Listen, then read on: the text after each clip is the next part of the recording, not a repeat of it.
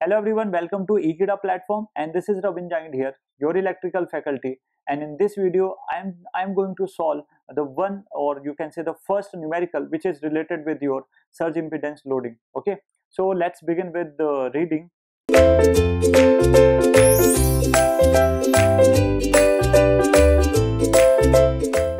So what is the? It is given as single phase overhead AC line okay it is given single phase overhead AC line.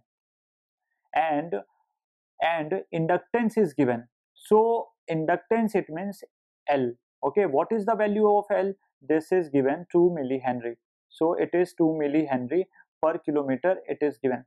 Now if I talk about the capacitor so value of capacitor is actually 0 0.125 okay into 10 raised to power minus 7 and it is given as farad per kilometer. It is given as farad per kilometer. So let's see what is it is going to ask. Estimate the surge impedance loading. What i have to find? Surge impedance loading. It is actually surge impedance loading. So what is the surge impedance loading and what is the formula of this? Okay this is the power transfer capability i can say. And it is actually v square v square upon zs. Okay and this ZS is actually your surge impedance. This is ZS is actually surge impedance. This type of numericals we have already studied in the uh, in the AC systems, uh, in the transmission and distribution of AC systems. Okay, surge impedance, and that surge impedance is actually L by C. Okay, what is the L value of L?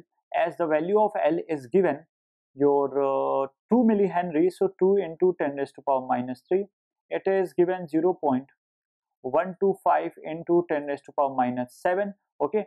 So after cancelling out after cancelling out you will get 10 raised to power minus 3 10 raised to power minus 7 10 raised to power minus 4 then it is coming out to be 10 raised to power 2 out of this okay? Then inside root you are getting 2 upon 0 0.125 125 and I have the answer and it is coming out to be 400 ohm. It is coming out to be 400 ohm. Okay, like this. Now we will talk about now we will talk about this surge impedance loading. So what is actually the surge impedance loading? Surge impedance loading.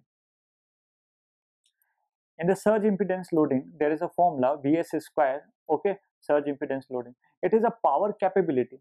The power is transformed but that power is actually transformed uh, transferred to resistive load. How can i say the resistive load?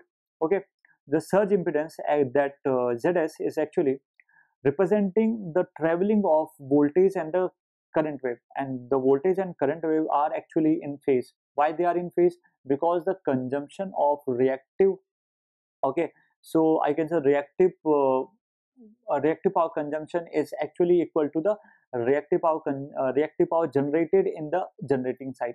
So ultimately uh, that is cancelled out and we will left with the ohmic value that is the resistive load. And that SIL is V square and that is voltage is given as your 400 kilometer uh, 400 kilovolts. So 400 into 400 V square is given. So 10 raised to power kilo. Okay. So 10 raised to power 3 to power 2 so it is coming out to be and divided by 400 so cancelling 400 400 you are getting 400 megawatt value. So i hope this numerical you have understood successfully. Thank you